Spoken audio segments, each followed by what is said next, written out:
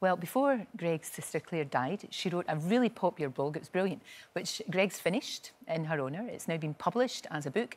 It's called Not That Kind of Love, and Greg joins me now. This is a fantastic book. It really, really is. And for both Rachael and for your Clare, um, writing about what they were going through helped so many people. Do you think it helped Clare as well? I think it did very much. I think one of the things that you have to realise when you're going through uh, an illness like this or caring for someone yeah. going through an illness like this is that you spend most of your time dealing with other people's neurosis because it brings up all that. That's true, yeah. We're all going to die. Oh my God, there's a friend of mine dying or looking mm. after. Um, and I think to just try and be, and, and, as, and as Rachael and the, and the girls did in their, in their podcast and, and as we try to do in the blog, just be clear because that's loving Mm. We always used to think, don't talk about it. That's an act of kindness. That's actually cruel, yeah. not talking about it. We have to try and be as open and as kind and as loving as possible. It was really interesting reading this book and, and obviously the, the, the blog too. You really hear her voice. Yeah.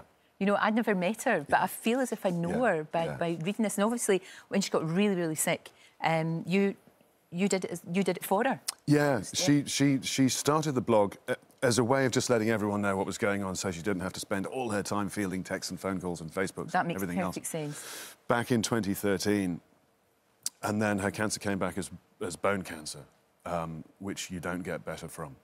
Uh, and when she became too ill, I took over the writing mm. again because I spent the last three months of her life living with her yeah. in in her flat and as a way of just me not having to field texts and phone calls sure. and emails. So this is what's going on. This is how she is. And then because I was spending 22 hours a day on my own, she was asleep most of the mm. time. All I could do was wait for the bell to ring. There was a little bell push by her bed, and I had the other end wherever I was. So, of course, you spend your time thinking about what's going on with her, what's going on with you, life, death, everything else. And I would write the blog at the end of every day, just the thoughts I'd had during the day, as well as how Clare was, and it became something else, and became something actually that that that I sort of longed for at the end of every day. Do you know what? It's it's really comforting to read that. Yeah. I know I know obviously you've lost her. She's dead, mm -hmm. and there's but she kind of lives on. Thank you for saying dead. Well, dead. You said lost to start. I know, with. but it, but it's right. We have to. yeah, go, we have, we to, have to, get that. the words right. You, you do have to get the, the, words right, otherwise it, it's very important to do that. Mm -hmm. um, but you were so very close. Did that yeah. make it so? I mean, obviously, when somebody dies, it's it's hideous. But because you were so close and because you loved each other so very much, did it make it all the more worse when she died? I, I was 18 months younger than her. I'd never known life without her. Yeah. We'd spent every Christmas together. We spent most holidays together, even as we got older. Um, she could not do that kind of love. She was a single woman, mm. always. Um, I was always with someone, and when I was kicked out of every relationship, I'd move back in with my sis, and we'd holiday together. So we were, we were fantastically close. And when she became very ill, she didn't want anyone else around mm. at all, just me and I was Gosh, so, what a privilege. I was so fortunate that I'm self-employed and yeah, my yeah. family allowed me to extricate myself from one household and, and yeah. cement myself in with, with my sis for the last sort of 10, 12 weeks. What an amazing thing to, to, to be there with her yeah. during all that time. And of course, very much part of the family. I know that, that your wife Emma, very close, because mm -hmm. they went out to India, didn't they? They did. They, they, and you said that when she came back, you'd never seen your sister look happier or more beautiful. Never saw her look more beautiful That's after, amazing. after the, the, the time they spent in this um, Ayurvedic clinic. And literally the day after that, she went to bed and never got up again. Gosh.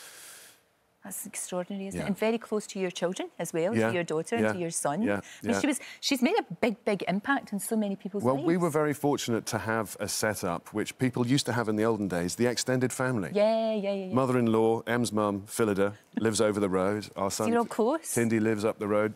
My sister lived down the road. Best friends all around. That's great. And it's how people were always living. Mm. It's, how, it's how kids were brought up and it's how people died. People died within a community. We all saw as we see the births and the, and the childhoods, mm. we saw the aged and the dying. We don't get that And now. we don't We do don't, that and it's really sad that we don't. And, and, and that's why we have the fear about it, because we don't see it. We don't witness people dying. Hmm. Uh, it's, it's, a, it's an extraordinary privilege, along with the fact that it's obviously a, a huge Hmm. trauma. But it's a privilege more than anything else. It's a remarkable book. It, it really is. And, and like I say, I can, and I love the photograph of the two of you on the front. It's the I cutest thing I've know, ever look at seen. that. It's absolutely gorgeous. That's going to be my new publicity photo. Oh, you've never looked more handsome. Look at those chuggy legs. Isn't that and she just looks great. She just looks full of fun and mischief and yeah, innocence. and where are my pants? I don't know. I don't know. I don't know. But also, you two, you laughed a lot, didn't you? It, yeah, You laughed yeah. a I mean, one of the great things about this is, is, is there's a lot of really good gags. Yes. We did laugh a lot. You have to laugh at it. We know humour is based on misfortune.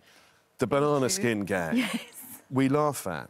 And, and you have to be, well, not you have to, but it's very important to Mm. be able to laugh Yeah, I agree. at all of this. I agree. It's a great book. Not that kind of love out now.